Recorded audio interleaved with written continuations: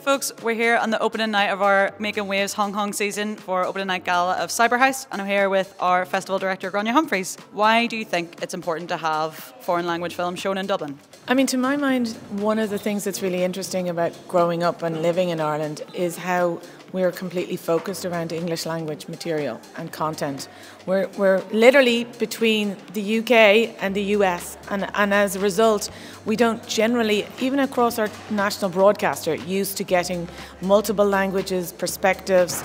Um, we're even sometimes Eurocentric. I mean, actually, it's difficult to actually even think of the last time there was a focus on a particular Asian country. If anyone's into into films at all, it just kind of exposes you to new filmmaking languages. And if you're into films or into filmmaking, then uh, you'll find that when you think about when you think about making your own films, you'll start thinking about angles or like narrative kind of techniques that you wouldn't have thought of before, which broadens your mind a little bit. You know, Hong Kong movies and Hong Kong um, filmmakers actually they shaped over the years since since uh, Wong Kar Wai, since the 80s, late 80s, really shaped the way of filmmaking in the world. So they're bringing new narratives, new way of understanding things, new way of telling things, different way of telling things, and I think they really connect with an audience in Dublin. It broadens the perspective of the people, uh, enriches the conversation, and of course, it's important for people, homegrown filmmakers in the country, they have other things to see and aspire to too. A small season like this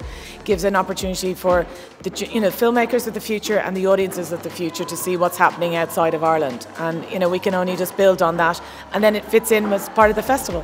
What makes it special about going to a film festival as opposed to just one of the movies? It's not only going to see a movie, it's really the whole immersive experience of living another life on the screen, talking about it later on with your friends and companies and your fellow familiars and and of course it's something that really enriches your life in the sense of it sparks conversation around what is life apart from being you know in Dublin because there are many subtle threats that actually intertwines the whole world so actually we're all everything is connected to everything else. And Dublin's a very connected city, and I really think adds super flavor to the city.